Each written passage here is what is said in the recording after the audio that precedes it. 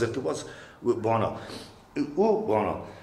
Այս ժամանակ Քեմալը ես մտածում եի Նիկոլից երբեք բան չեմ ակնկալել, էլի որ ինքը բարոյական մարդ է կամ էսա այնա։ Ձեր մոտ է միշտ խոսել ենք դուք էլ ես էլ, ասենք այս շրջանակի մեջ խոսել ենք որ նա անբարոյական մարդ է։ Նա ամեն ստորության ընդունակ մարդ է։ Բայց որ ժողովուրդը ինքը չհելավ տապալի։ Օրինակ Քեմալը կազմակերպեց սա թուրքական գյուղասի ամբողջ էլիտան սուլտանի կողմից էր։ Քեմալը թողեց բանակից դուրս եկավ ու որոշ քիչ թվով բաներ, ասենք էլի զինվորականներ, գեներալ լեյտենանտ մեծան, գերեկան այս արևմտյան Հայաստանի տարածքներում մոտ դե ասվեն անատոլիական մասում ասենք ռամիկ գյուղացիների հետ այդ մարդը սկսեց ապստամբությունը սուլթանին տապալեց։ Հիմա սա ինչի համար եմ ասում։ Ասում եմ ասում եմ որ մեր ազգային արժանապատվությունը